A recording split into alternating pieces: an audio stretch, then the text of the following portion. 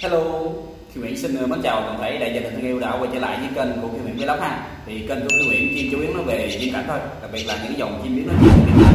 Thì ờ, mình cũng muốn đem một số những kinh nghiệm mà Kim Nguyễn có được trong quá trình mà mình chăm sóc nhiên thú cưng ờ, để chia sẻ lại cái kinh nghiệm đó cho đại gia đình khi mình biết được về những cái việc mà nuôi chim, trồng chim, chăm sóc chim và huấn luyện chim như thế nào để được tốt ha.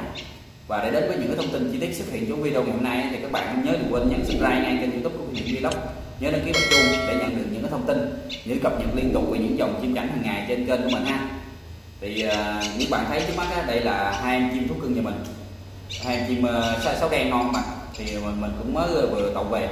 Thì uh, cái việc mà có rất, rất là nhiều anh em họ có hỏi mình là tại sao con chim non mình để trong lòng mà nó cứ kêu miết à nói chung là chim nó kêu á là theo cái bản năng của nó bạn nó gặp người uh, hoặc giả nó gặp ba mẹ nó giống như là nếu mà ở ngoài thiên nhiên á nó nó có ba nó có chim bố mẹ thì khi mà nó kêu á là thể hiện là nó đang đói bạn thì ờ, nếu mà mình đem chim về mà mình thường quá thì con chim nó nó coi mình giống như là ba mẹ của nó vậy đó. Thì ờ, khi mà nó đói á, là nó sẽ kêu.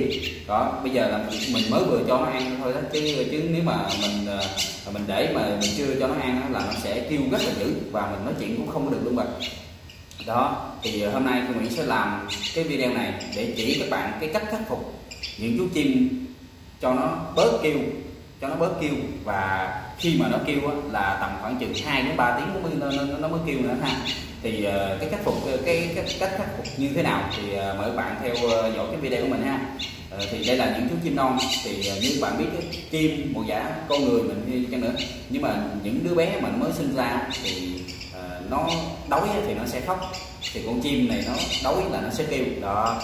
Thì khi mà nó đói thì thì, thì nó sẽ kêu lên và nhiều người là rất rất là khó chịu với cái tiếng kêu của nó bạn. Tại vì người ta không có ờ, quen nuôi chim giả là uh, những người mà họ khó ngủ họ rất là ghét cái sự ồn ào. Cho nên là uh, khi mà con chim kêu là họ rất là khó ngủ.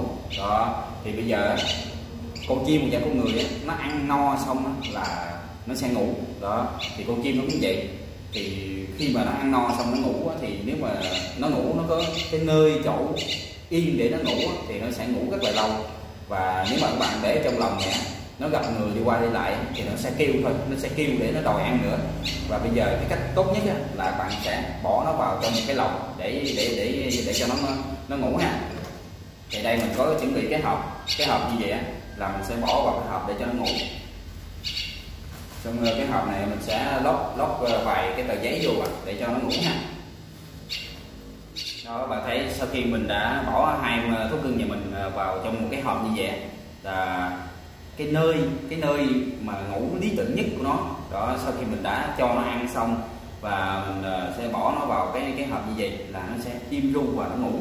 Nó ngủ đến khi nào mà nó cảm giác thấy nó đói là nó sẽ kêu nữa còn nếu mà nó không đói là là nó nó, nó sẽ không kêu và nó nó ở trong trong đó nó ngủ và nó ngủ rất rất là nhìn thấy rất là đã. Tại cái, cái hộp này mình chỉ quét những cái cái lỗ nhỏ nhỏ thôi. Chứ mà ờ, mình có mà đục cái lỗ lớn mình sẽ đưa camera vào cho các bạn thấy là hang chim nó nó ngủ rất là rất là yêu.